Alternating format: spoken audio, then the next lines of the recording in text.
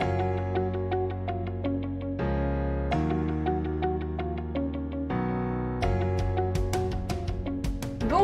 et bienvenue à tous dans ce nouveau tutoriel. Aujourd'hui je vous retrouve pour réaliser une aquarelle sur le thème d'Halloween. Aujourd'hui on va réaliser donc trois citrouilles dans des formes et des couleurs différentes mais également un petit chat alors qui est censé être un chat noir mais qui sera finalement d'une couleur un peu particulière, vous allez voir ça. Et on va utiliser également un petit peu de stylo feutre à pointe fine euh, noir comme j'ai l'habitude de faire juste pour les quelques détails. On va utiliser donc une méthode qui est différente de la méthode classique. C'est une méthode moderne qui utilise les espaces négatifs. Cette méthode, pourquoi je l'utilise Tout simplement parce que c'est une méthode qui est très simple et qui est rapide d'utilisation, très pratique quand on est débutant. Voilà, donc... Pour celles et ceux qui ne me connaissent pas encore, moi c'est Lucie de Créacoa. Je suis formatrice et coach artistique et créative. Je vous aide et vous accompagne à devenir zen et créatif, notamment grâce à des tutoriels sur YouTube, mais également à des formations en ligne. Je vous accompagne sur des sujets tels que la créativité, l'aquarelle, mais également et surtout Procreate. Voilà pour les petites présentations pour ceux, celles et ceux qui ne me connaissaient pas encore. Je tiens à remercier toutes celles et ceux qui ont, décidé de faire partie de la formation Procreate Express. Je vous remercie tous infiniment. Donc si tu fais partie euh, de mes élèves, merci beaucoup pour la confiance que tu m'accordes. Et on se retrouve lundi 25 octobre à 10h pour débuter cette fameuse formation. Dernière chose avant de commencer, je t'invite vraiment à la fin de ce tutoriel à me partager ton aquarelle en m'envoyant tout ça euh, directement sur Instagram à Créacoa. Et euh, si tu souhaites avoir toutes les informations sur euh, la communauté de Créacoa, tout ce que je fais, les groupes Facebook pour apprendre à dessiner, les challenges, Inktober, etc., n'hésite surtout pas à aller voir sur mon site internet www www.creacoa.com. C'est parti, on commence de suite avec ce tutoriel.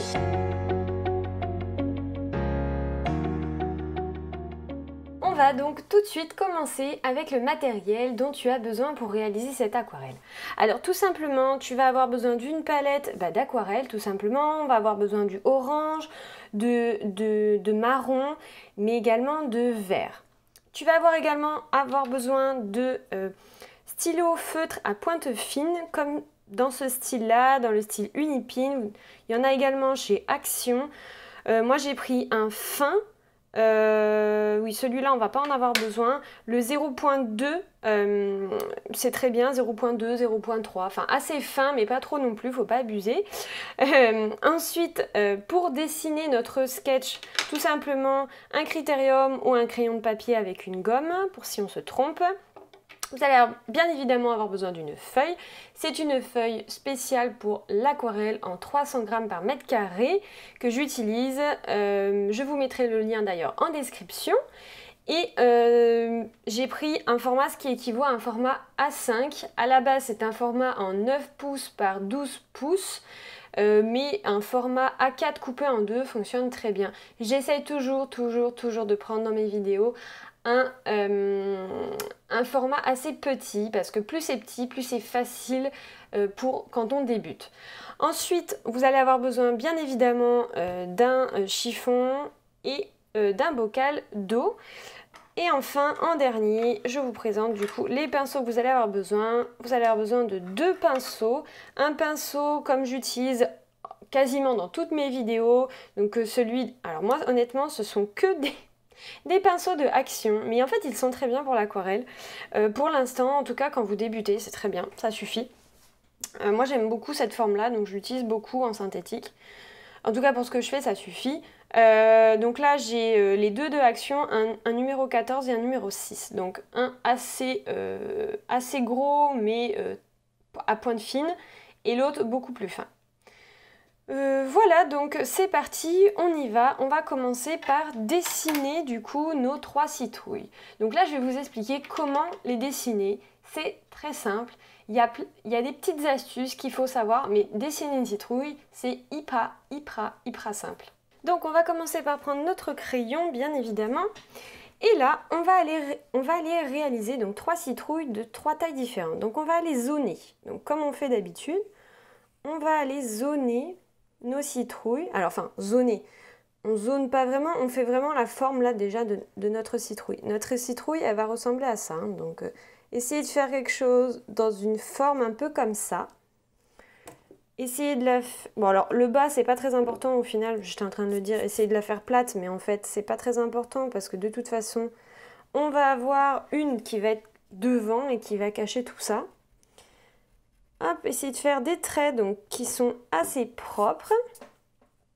Ensuite on va en faire une qui va aller, donc qui va être plutôt la forme classique dont on est habitué à voir une citrouille.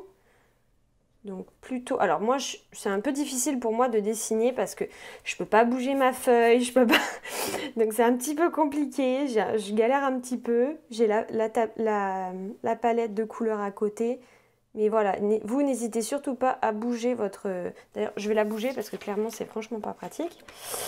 Hop, normalement vous devriez voir quand même. Voilà, je suis un petit peu empêtrée. Hop, allez. Donc essayez de faire une forme toute simple comme ça. Et vous allez retirer un morceau de celle qui est derrière, puisque celle-ci, celle qu'on est en train de faire, est située devant.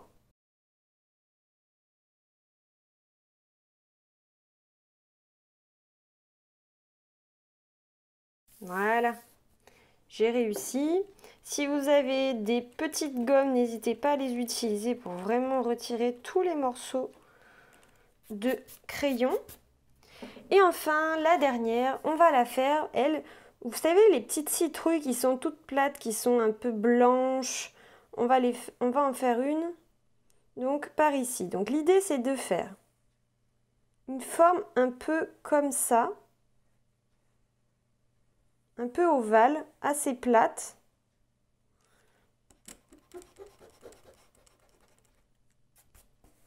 Sachant que au niveau à l'intérieur, il va falloir réaliser une sorte de deuxième cercle à ce niveau-là, qui va nous aider à la construction ensuite de la citrouille. Mais juste sur celle-ci, hein, pas les autres. Ensuite, on va réaliser du coup une sorte de, de, de rond ici, qui va être notre base de notre citrouille. Vous pouvez la faire plutôt ovale, hein, pas trop rond, hein, plutôt en longueur. Ça peut ne pas être parfait dans le euh, un pas un rond parfait, ça fera encore plus naturel. Et laissez une marge ici, d'accord? On fait la même chose de ce côté-là. N'en mettez pas trop par contre. Essayez de faire la même distance à chaque fois pour avoir la même vue sur chacune des citrouilles.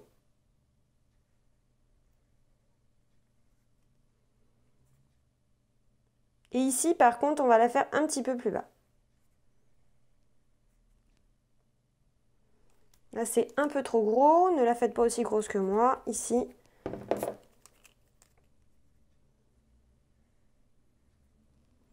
Voilà, ça me paraît plutôt pas mal. Donc vraiment, c'est qu'une histoire de construction. Quand on réalise des citrouilles, c'est vraiment juste... Euh, c'est la construction et après, il faut gommer les parties qui ne nous, sont pas utiles. Donc là, l'idée, c'est qu'on va aller faire un premier trait un peu courbé qui va descendre ici et qui va aller s'arrêter à l'autre citrouille. On va faire la même chose de l'autre côté en, en parallèle. Et ensuite, on va aller en créer d'autres de ce côté-là. Et là, on va faire comme si ça tourne, d'accord? Donc on va aller faire des parties comme ça. Essayez de les faire à peu près toutes de la même taille. Voilà, ça me paraît plutôt bien. Et on va faire la même chose ici.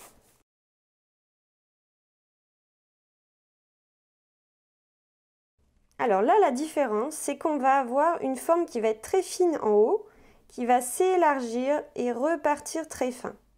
Puisque la forme de la citrouille est différente,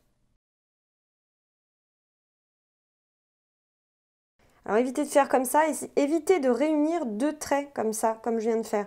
Même si ça tombe pile, c'est pas grave, changez-le. Faites quelque chose de plus fin par exemple, ou de plus large, mais ne, ne les faites pas finir au même endroit.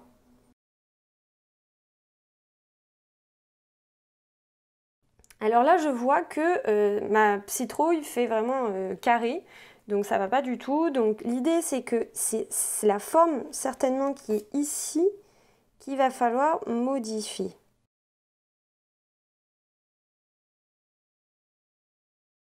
Donc là, essayez vraiment de modifier votre citrouille de manière à ce qu'elle fasse clairement ben, quand même assez arrondi. Hein. Sachant que les traits de construction qu'on a mis au milieu vont disparaître, bien évidemment.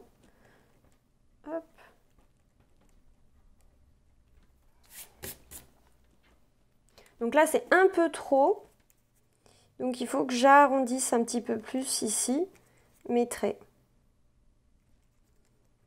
Là, ils sont beaucoup trop euh, avec un angle important et c'est ça qui fait... Voilà, là on commence à voir, ça commence à être mieux.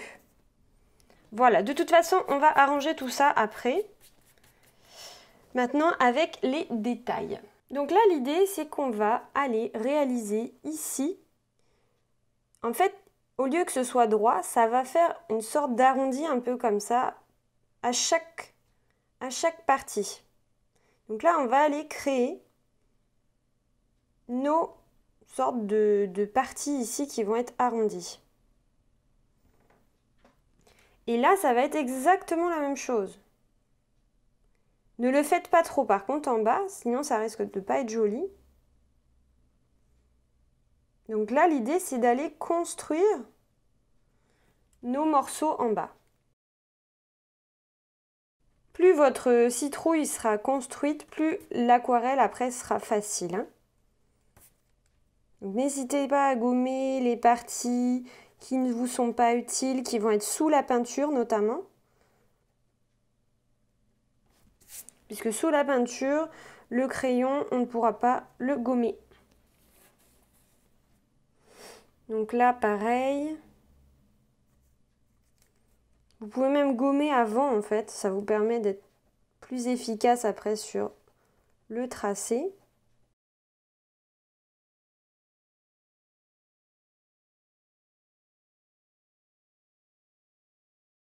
Voilà, vous faites quelque chose vraiment de léger, hein. vous avez vu là, c'est vraiment histoire que ce soit pas droit au niveau du trait. En bas, là, il n'y a pas besoin de faire du coup, c'est l'avantage. Et là, je vais gommer également avant pour que ce soit plus simple.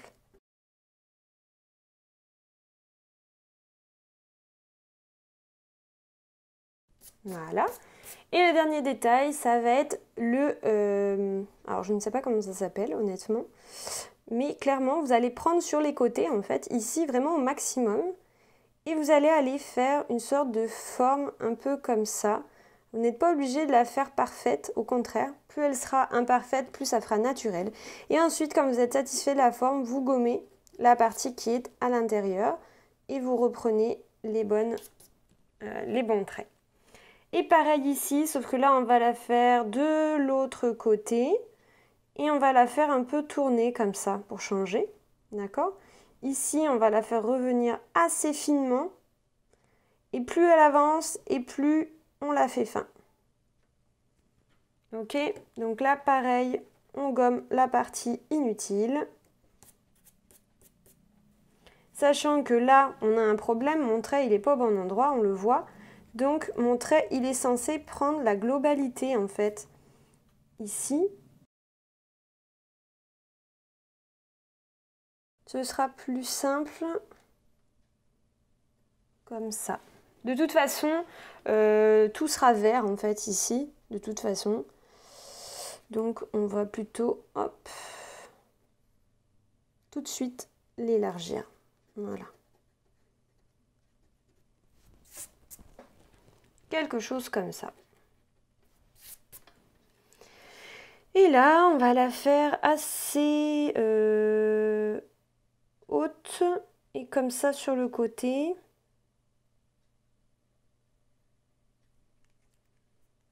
Voilà, amusez-vous là sur les petits... Euh, sur les morceaux ici qui ressortent. Et je crois qu'on est plutôt pas mal. On est plutôt pas mal en tout cas pour les citrouilles. Et donc là, il va nous rester à réaliser le petit chat. Donc pour dessiner ce fameux chat, alors on va bouger notre feuille pour être plus à l'aise et on va aller faire un chat qui va être euh, sur le dos et qui nous montre son ventre avec les petites pattes en l'air comme ça. Donc on va aller le créer ici et on va aller faire une sorte d'arrondi ici. Là, on va aller lui faire des oreilles assez pointues mais pas trop. Vous allez créer un trait ici, assez arrondi aussi pour la forme de la tête. Une deuxième oreille dans le même style. Ici, on va aller créer un bout de son visage comme ça. Et on va repartir ensuite, tout doucement, faire son corps parallèle, d'accord? Et ici, on va aller créer ses pattes son entrejambe et une deuxième patte dans le même style. Ok? Ici, on va aller créer sa queue comme ça. Tout est parallèle. Voilà. C'est vraiment un chat très simple, très simplifié d'ailleurs. Euh, ensuite, on va aller faire deux traits comme ça. Euh, ça, ces détails-là, en fait, on va les faire à la fin avec le, avec le stylo noir, le stylo feutre noir à pointe fine. Ensuite, au niveau des yeux, on va aller faire deux petits yeux qui euh, sourient comme ça.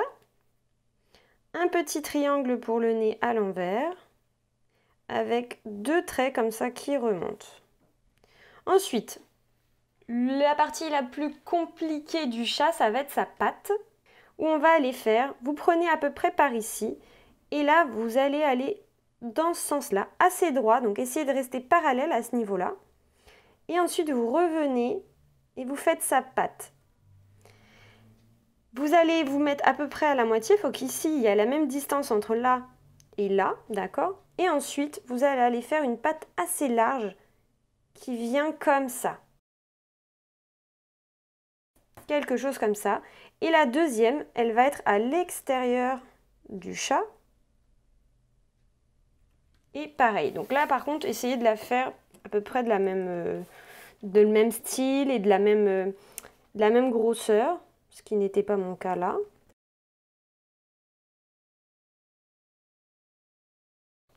Voilà, quelque chose comme ça. Et on est pas mal du tout.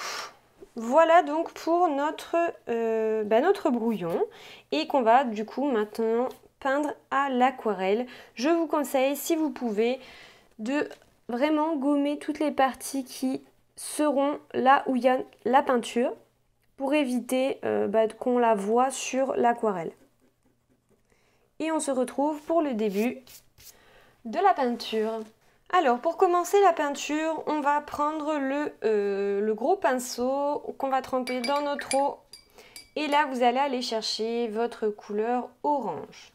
Ça va être, tout va être basé à peu près avec du orange. Il y aura du orange dans à peu près tout ce que l'on va dessiner, tout ce que l'on va euh, euh, peindre au niveau des, citrouilles.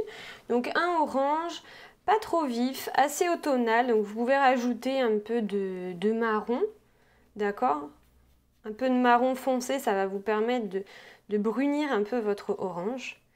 Et là, en fait, on va aller jouer avec plein de couleurs différentes. On va aller rajouter ensuite du, orange plus clair, on va rajouter du, marron pour foncer, et là, on va aller faire des effets.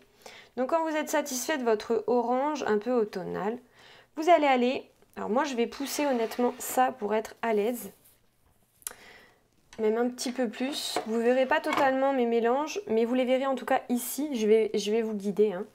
Et donc ici, eh bien tout simplement, on va commencer. Euh, alors on va commencer avec la plus grande. Pourquoi? Parce que je suis droitière et que je, je peins toujours d'en haut à gauche vers en bas à droite pour éviter d'en mettre partout avec ma main. Donc c'est pour ça que je vais commencer ici. Ça aura le temps de sécher. Euh, et du coup, je pourrais revenir ensuite euh, ici faire les détails. Donc là, je vais commencer avec ma première qui est ici. Je vais essayer d'aller vite parce que bien évidemment, c'est de l'aquarelle. L'idée, c'est qu'on va éviter, pas faire comme je viens de faire parce que là, je suis en train de vous parler, je n'étais pas concentrée. Il ne faut surtout pas toucher vos traits. Les traits vont pouvoir être effacés. C'est le principe de la méthode que je vous parlais dans mon introduction. Donc là, je vais bien évidemment continuer, c'est pas grave, celle-là, je la ferai plus petite. Mais ici, vous laissez un petit écart, comme j'ai fait de l'autre côté, d'accord? Moi, c'est parce que je m'y suis mal prise. Et là, pareil, tout en bas, vous allez faire exactement la même chose. Vous allez aller laisser un petit écart partout. Donc que ce soit ici, entre ça, entre l'autre citrouille, ne touchez pas vos traits de construction. Pourquoi on fait ça? Tout simplement parce qu'on va pouvoir, eh bien, on va pouvoir tricher entre guillemets. Alors là, je suis obligée de repasser par-dessus parce que c'est déjà sec. Et donc là, je vais vous expliquer après. Hein. Il faut que j'aille assez vite. Hop, je prends un peu de marron. Et là, je vais aller tapoter ici pour faire du mouillé sur mouillé. Et aller donner de la couleur, des effets à ma citrouille. Donc là, je peux faire des effets un peu comme ça. Je peux rajouter même un peu de vert pour donner un peu de, profondeur à ma couleur. Et en haut, alors, je vous donne mes petites astuces. L'astuce, c'est de toujours mettre les couleurs un peu foncées en bas et les couleurs plus claires en haut. Pourquoi? Parce qu'on a la lumière qui vient de là-haut. Et donc, forcément, le haut de ma citrouille va toujours être plus clair. Et donc là, je peux tapoter, je peux prendre du jaune même, un petit peu de jaune, pour illuminer un petit peu ici euh, ma citrouille. Et on continue, je reprends mon orange. Et là, donc je fais attention, donc pas comme tout à l'heure, je vais laisser un petit filet blanc entre les deux il faut que vous soyez assez rapide et c'est là le plus important. Là, on ne va surtout pas toucher la partie qui est à côté. Là, je l'ai faite assez fine, mais vous pouvez la faire encore plus épaisse. Le trait, n'hésitez pas à faire des traits assez épais entre les deux. Genre cette, euh, cette largeur-là, c'est bien par exemple. Hein. Voilà, et rapidement, vous reprenez un peu de foncé, vous faites des effets. Là, vraiment, amusez-vous. Vous tapotez.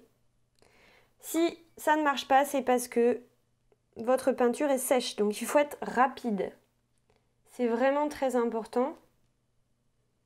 Vous pouvez rajouter un peu de... Vous voyez, là, je rajoute un peu de marron, euh, marron bordeaux.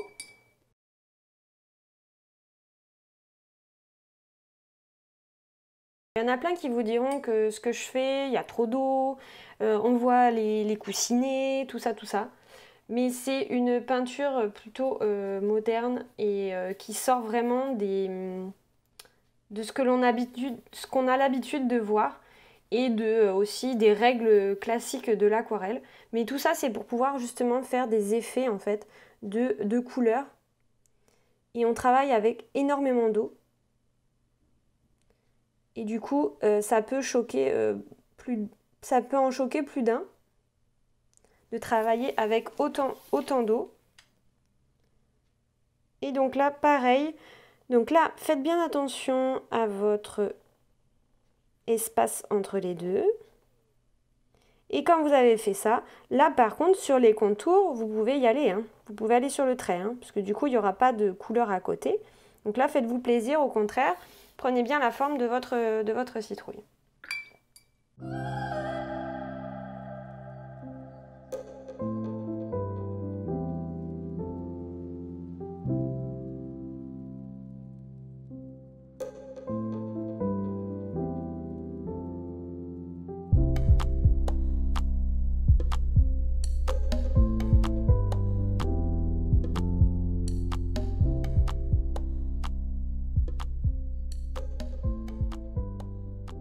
Donc quand vous êtes satisfait de votre citrouille, vous la laissez sécher et vous passez à la deuxième. Alors vous pouvez faire un effet euh, différent, c'est-à-dire que là vous pouvez mettre des oranges. Là j'ai mis orange, marron et vert. Ici vous pouvez peut-être rajouter un peu de rouge ou la faire plus claire ou la faire plus plus Pepsi. À vous de voir vraiment, essayez d'en faire trois un peu différentes, même si au final, moi personnellement, ces deux-là vont se ressembler pas mal, je pense. C'est celle-là qui va être un peu différente. Donc sur le même principe, vous faites celle-ci. Donc on se retrouve juste après.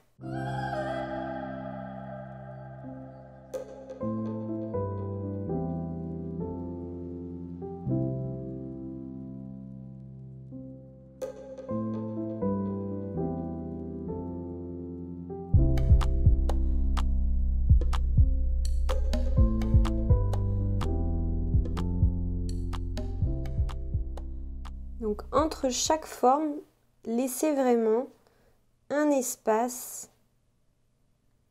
blanc qui va vous permettre de d'éviter d'attendre que les zones soient sèches. Donc c'est pour ça que c'est une méthode qui est rapide et qui est simple parce que justement on travaille par zone et on, se, et on ne fait pas attention à ce qu'il y a euh, dans la case entre guillemets d'à côté. C'est pour ça que c'est une méthode qui est très sympa euh, pour quand on débute. Et c'est une méthode qui est plutôt moderne puisque c'est pas du tout euh, habituel ce genre de, méthode là. Alors on aime ou on n'aime pas, je comprends, hein, vraiment. Euh, surtout quand on est habitué à faire du classique.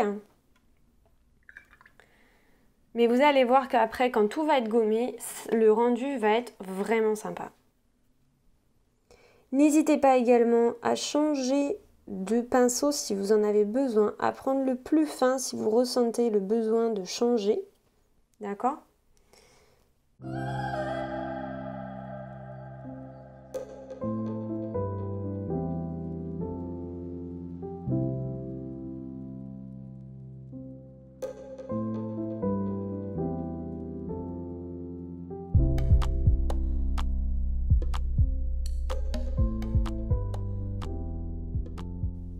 Voilà, donc moi la différence entre mes deux euh, citrouilles, c'est qu'il y en a une qui a du vert, qui est assez clair, et celle-ci est plus foncée. J'ai mis du bordeaux, j'ai mis du foncé, et j'ai accentué pas mal euh, le.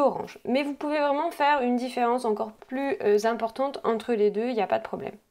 On va donc passer à la troisième qui est un peu différente. Donc là pour cette citrouille, il va vous falloir trois couleurs, mais on va les prendre très très très pâle. On va quasiment pas prendre de pigment parce que notre citrouille va donner des tons blancs. Euh, mais il va y avoir des tonalités de violet et de orange. Le orange, pourquoi? Pour rappeler euh, les autres citrouilles et faire une sorte de reflet. Et le violet sera plutôt situé sur le bas de notre citrouille puisque ce sont des citrouilles qui ont des reflets un peu violets. Donc l'idée c'est que euh, si vous n'avez pas d'espace blanc sur votre palette comme moi, vous nettoyez votre endroit et euh, vous nettoyez ensuite avec, euh, soit vous poussez les pigments, soit vous nettoyez carrément avec votre chiffon ou tapotez. Alors moi j'ai pas de sopalin donc ça imbibe pas trop. Hop, je pousse les pigments. Voilà, pour avoir un espace assez blanc, parce que là on va aller prendre du blanc. Et oui, on va aller prendre du blanc. C'est vrai qu'on l'utilise très peu le blanc. Alors, essayez d'avoir votre pinceau euh, ben, assez propre du coup, puisqu'on va aller vraiment travailler euh, des tonalités. Donc là, moi, je laisse ici parce que vous voyez, j'ai du violet un petit peu. Donc, l'idée, c'est que vous allez aller prendre du blanc et vous allez aller créer une sorte de, violet assez clair. Et moi, là, vu que je suis pas très... Euh, j'ai pas trop trop d'espace propre, à vrai dire, je vais essayer d'aller prendre directement de la palette ici pour aller prendre du blanc. Et je vais aller créer ici, je vais aller voir ce que ça donne au niveau de la couleur. Ça me paraît plutôt bien parce que j'ai mes reflets un peu violets, d'accord? Donc là c'est très bien. Et je vais aller faire toute la, première partie ici.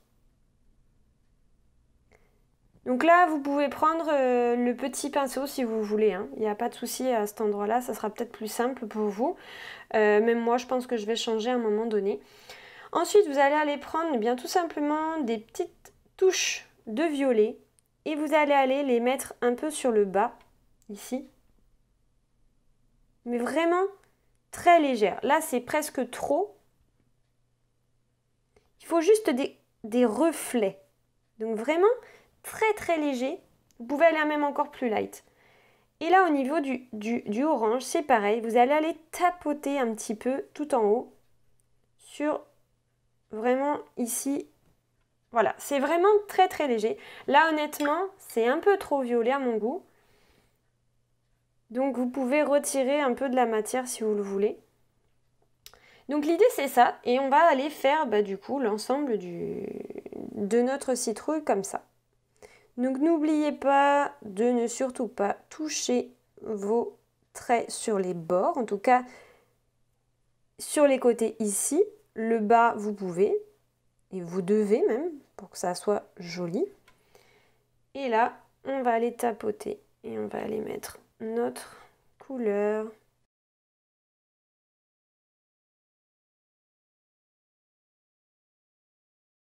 Donc clairement, quand on le fait, on a l'impression que c'est pas très joli, que c'est très palichon, etc. Et vous allez voir qu'après, avec la globalité de l'aquarelle, ça rend très très bien.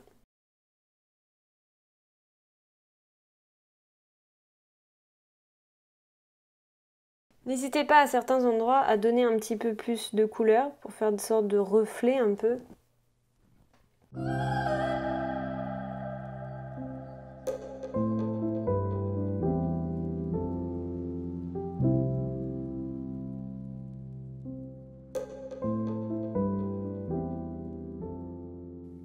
Clairement, c'est pas la partie la plus facile, mais c'est un bon exercice euh, pour gérer les couleurs.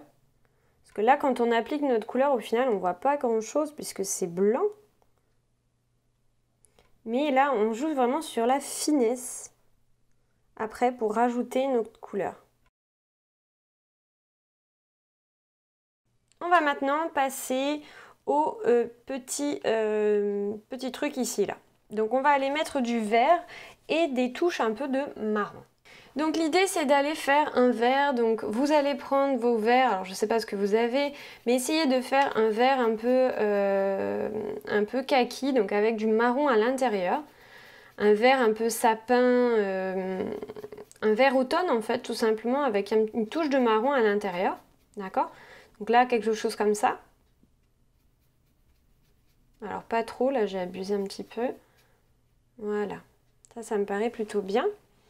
Et donc là, moi par contre, je vais changer de pinceau et je vais aller prendre le plus fin. Voilà, donc c'est parti. Donc là, exactement de la même manière, en fait, on va tout simplement aller créer nos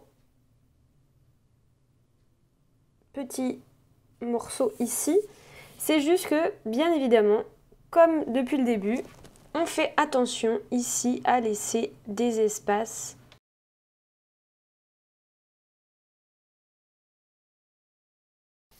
Et donc là, vous allez aller rajouter une touche un peu de marron, surtout sur le bas, ici, pour donner un peu de profondeur et que ça ne soit pas uni non plus.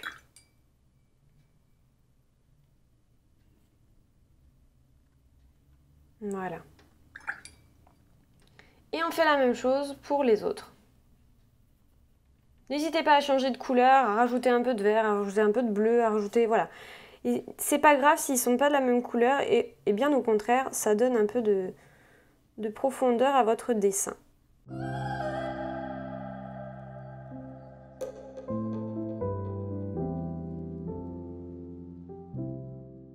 Et le dernier, par contre, je vais le faire un petit peu plus euh, light en couleur. Je ne vais pas le faire aussi foncé.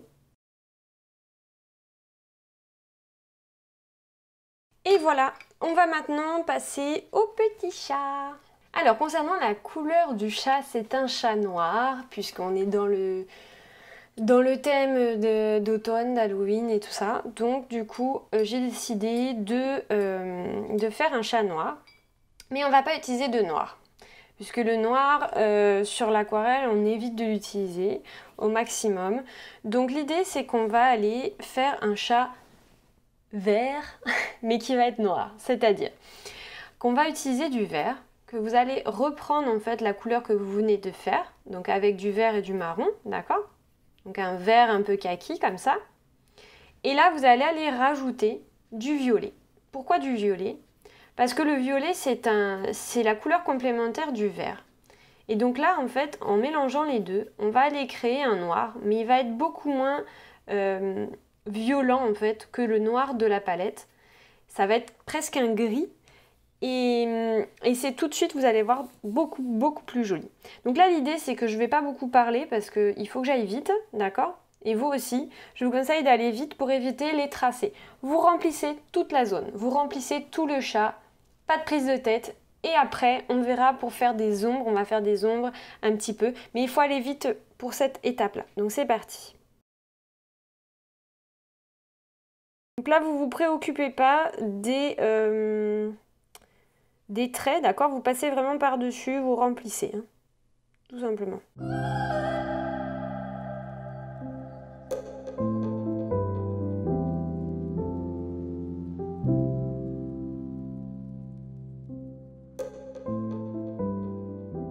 Donc là, très rapidement, on va euh, ben, reprendre, alors si vous n'avez plus de couleur, vous en refaites. Vous refaites un vert euh, kaki avec votre violet. Essayez d'avoir quelque chose d'un peu plus foncé que ce que vous aviez. Et là, vous allez aller accentuer en fait les zones qui vont être, euh, bah, notamment la queue ici, prendre un autre pinceau. S'il y avait du vert.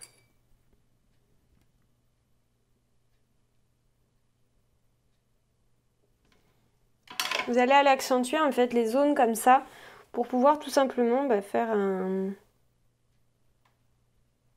une sorte de, de dégradé qu'on voit vraiment les parties du chat. Si c'est sec, vous remouillez votre pinceau, vous trichez, hein, vous étalez un peu la matière en dégradé comme ça. Et là, on va le faire dans l'autre sens, on va le faire comme ça.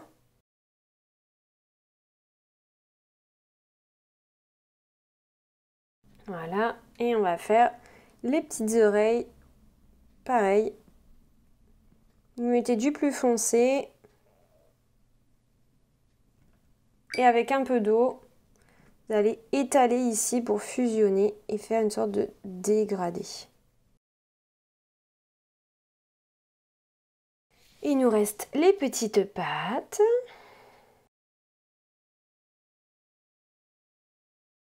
Voilà. Et donc quand on aura, quand ce sera sec, on aura juste à faire avec notre stylo euh, feutre à pointe fine tous les petits détails, les oreilles, les yeux, le nez, euh, et vous pourrez, euh, et c'est tout en fait. Soit vous faites les petits détails ici qu'on avait fait avec la pâte, soit vous laissez juste comme ça et vous faites les petits détails des oreilles, des yeux et du nez et de la bouche. Voilà, donc moi je vais laisser sécher. Je vais ensuite faire les petits détails et gommer et normalement on aura fini. Voilà donc maintenant que c'est euh, sec, je vais passer au final avec le les détails. Oups N'hésitez pas à me dire d'ailleurs en commentaire si euh, vous connaissiez cette méthode euh, des espaces négatifs ou pas, si ça vous plaît, si vous trouvez ça joli. Euh, attendez bien le final avant de voir le résultat.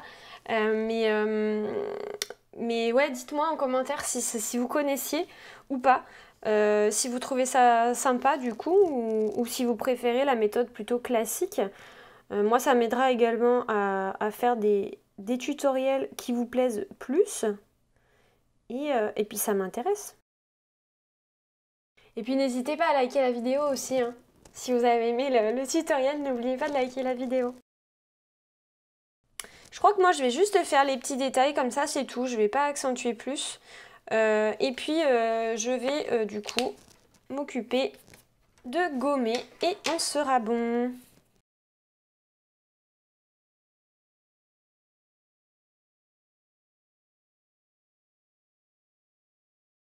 Et voilà donc pour le final, voilà à quoi ça ressemble. Euh, donc on est vraiment sur un effet avec nos fameux espaces négatifs. Donc on a laissé du blanc. Ça peut être beaucoup plus précis, bien évidemment. Moi, c'est un tutoriel que j'ai fait rapidement. Euh, celui que j'avais fait moi pour préparer le tutoriel est beaucoup plus propre au niveau des traits, en tout cas au niveau des espaces négatifs. Mais c'est normal, c'est parce que je me sens un petit peu étriquée ici. Mais vous, vous devriez avoir un petit peu plus de facilité en tout cas à le faire et euh, vous, pourrez prendre, vous pouvez prendre votre temps également. Euh, voilà, moi je suis un peu euh, mis avec le temps du tuto, et en même temps la place, je me sens un petit peu voilà toute serrée. Donc voilà, vous de votre côté, n'hésitez surtout pas à faire ces espaces négatifs. Alors pourquoi là on l'a pas fait l'espace négatif? Je me suis dit que ça pouvait être intéressant aussi de voir d'autres manières de faire pour accentuer un peu les différentes zones. Euh, et puis j'avais fait des tests et je trouvais pas ça, je trouvais pas ça satisfaisant.